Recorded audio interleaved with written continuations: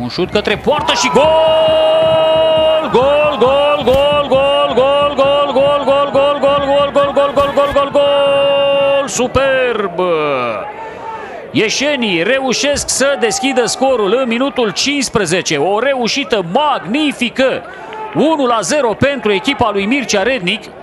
O lovitură liberă perfect executată de Ovidiu Horșia, care găsește peste zid plasa porții.